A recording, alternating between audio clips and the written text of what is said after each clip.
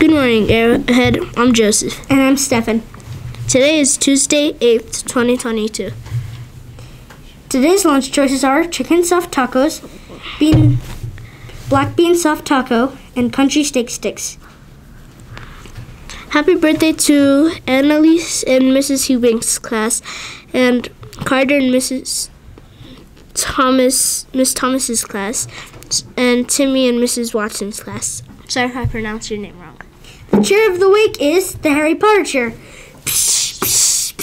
Terrific!